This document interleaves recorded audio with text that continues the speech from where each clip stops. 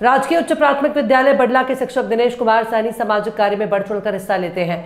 सोमवार सुबह कस्बे के रेलवे स्टेशन पर जल सेवा का कार्य करने के दौरान अलवर निवासी देवेंद्र कुमार सिद्ध का कॉल आया और बताया कि उनके पिताजी महेंद्र कुमार सिद्ध की तबीयत ज़्यादा खराब है और वो राजीव गांधी सामान्य अस्पताल अलवर में भर्ती है। उनको रक्त की आवश्यकता है।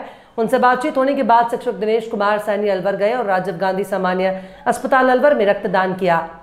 शिक्षक दिनेश कुमार ने सोमवार को सोलहवीं बार रक्तदान किया। इससे पहले भी वो पंद्रह बार रक्तदान करके जरूरतमंद लोगों की मदद कर चुके